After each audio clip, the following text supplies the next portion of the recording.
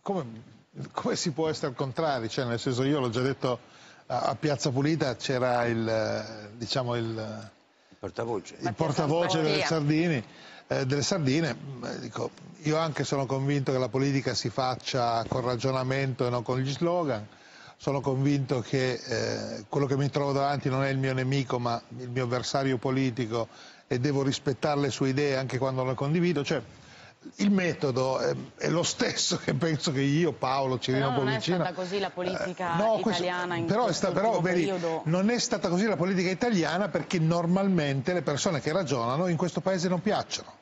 Non è stata così la politica italiana, però io personalmente sono sempre stato così e mi considero un uomo di centrodestra, anche più a destra.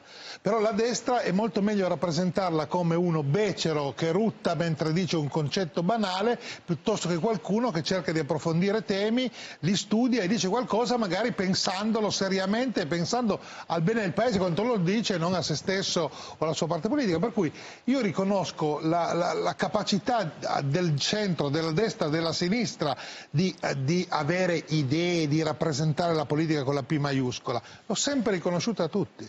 Io non ho mai parlato di Bibbiano, l'unica volta che ho parlato di Bibbiano era per dire che un sindaco che dà una, una sala per, per qualcuno che, che, fa una conferenza non può essere classificato come uno che prende i bambini e li violenta. L'unica cosa che mi sono permesso di dire sui social sulla vicenda Bibbiano, per cui esiste, ci ho detto, sono convinto, no, ci ho detto, eh, mi sono dimesso dal Parlamento, cioè, ci ho detto, detto detto, sono uno che pensa che quello che quella vicenda ha rivelato non può essere nascosto perché è una cosa di una gravità scandalosa che qualcuno falsifichi, eh, il, il, cerchi di falsificare la mente dei bambini per portare via una famiglia, ma non lo identifico con, con una città. Non voglio banalizzare. Cioè, stai, perché stai, io parlo di temi? Discorso, Però è vero slogan. che noi abbiamo passato anni a dire che il centrodestra e la destra era solo la parte brutta. No. Cioè, e che tutte le cose che venivano evidenziate dal centrodestra e dalla destra erano cose brutte, becere, egoiste. Mentre invece io sono anni, ad esempio sul tema immigrazione, che dico, ma se io eh, a casa mia, dove abito io, anche qua a Roma, l'immigrazione non è un problema. Non è un problema l'immigrazione, non è un problema il mio vicino, non c'è nessuno eh, che cucini il, il, kebab o sotto non ho gli spacciatori sotto casa. In un'altra zona della stessa città, L'immigrazione è diventato un problema drammatico, sconvolgente, con cui chi vive lì ha sommato difficoltà a difficoltà, paura a paura, insicurezza ad insicurezza. E il non capire che la parte più povera del paese ha subito dall'immigrazione una ferita che, che è stata più violenta di quella che avrebbe subito la parte meno povera del paese se ne avesse subito una uguale. Il fatto di non volere vedere e dire che considerare l'immigrazione selvaggia un problema è un, è, è, significa essere razzisti è quello che ha staccato la sinistra da una parte del paese. C'era un film francese, qualcuno mm, ogni tanto gira sui social, no?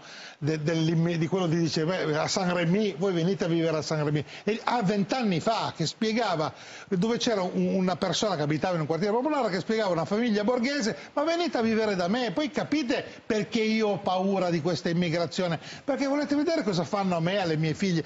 Allora, questo è il tema. Poi c'è qualcuno così becero mm. da pensare che parlare del problema dell'immigrazione voglia dire voler far morire qualcuno in mare? Ecco, cioè, capite che noi in Italia siamo riusciti a pensare che chi voleva solleva, parlare del problema immigrazione voleva far morire i bambini in mare. Sono due cose diverse, ripristiniamo, per quello io amo poi bisogna vedere se sarà così la proposta che fanno le sardine, perché io voglio poter parlare di idee, di politica, di problemi, con rispetto verso la persona che la pensa diversamente da me, offrendogli lo stesso rispetto. E poi lo analizziamo, perché altrimenti se ci scontriamo a furia di slogan, come avviene ormai da oltre dieci anni in questo Paese, non andiamo da nessuna parte.